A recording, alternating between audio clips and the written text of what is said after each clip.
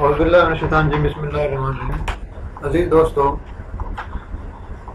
Heavy Frank شکیزوفرینیا شکیزوفرینیا کی بڑی اہم قسم ہے اور اس میں مریض جو ہے وہ بہت زیادہ بیمار ہو جاتا ہے اور اس کی جو علامات ہیں وہ اس قدر شدید ہو جاتی ہیں کہ مریض جو ہے وہ اپنے پیشاب پخانے کی جو ضرورت ہے، وہ اس کو نہیں سنبھال سکتا ہے۔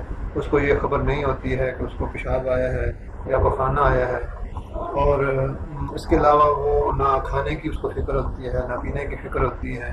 اور وہ انہی خیالات میں وہ جو وہ جو خیالات اس کے دماغ کے اندر آ رہے ہوتے ہیں نیورو ٹرانسمیٹر کی اہم بیلنس کی وجہ سے جو مسئلہ اس کے ساتھ درپیش ہوتا ہے۔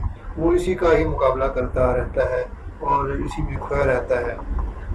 جبکہ وہ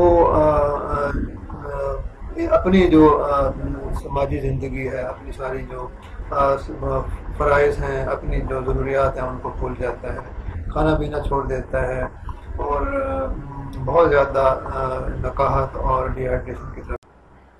اس نکاہت اور کمزوری کو بحال کرنے کے لیے اس کو ہاسپٹل میں داخل کرانا چاہیے اور ہاسپٹل میں جو اینٹی سائیکوٹک ڈرگس ہیں، ان کا استعمال کروانا چاہیے اور ان دوائیوں کے استعمال کے نتیجے میں کچھ امکانات ہوتے ہیں کہ مریض جو ہے وہ بحال ہو جائے۔ جبکہ بہت زیادہ محنت کرنی پڑتی ہے ایسے مریضوں پر اور بہت کم جو ہیں وہ نتائج جو ہیں وہ حاصل ہوتے ہیں۔ اور ان کا بڑے لمبے عرصے تک جو ہے وہ علاج کرنا پڑتا ہے۔ اللہ تعالیٰ صحت عطا فرمائے۔